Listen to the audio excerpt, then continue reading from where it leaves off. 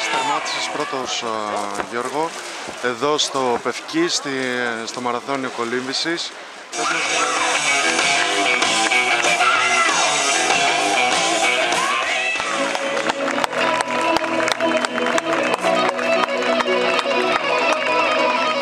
γιατί θα βγει από την θάλασσα ο ένας και μοναδικός Σπύρος Γανιώτης.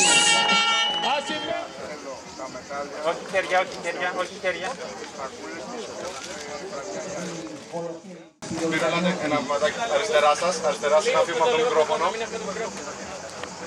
Ωραία, σε μένα. από το Ρίο ε, 10 χιλιόμετρα σε θάλασσα.